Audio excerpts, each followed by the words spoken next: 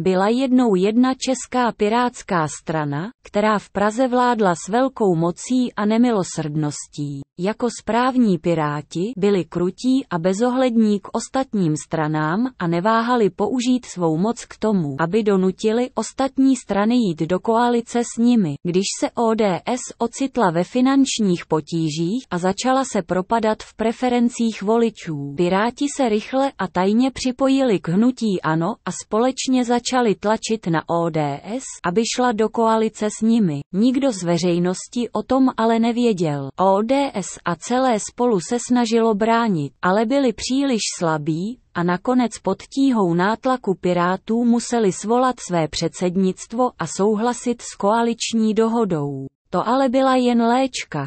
Chytrá léčka. Ve skutečnosti Piráti chtěli, aby spolu šlo do menšinové rady s ANO, aby oni sami mohli skončit v opozici. A tak se stalo.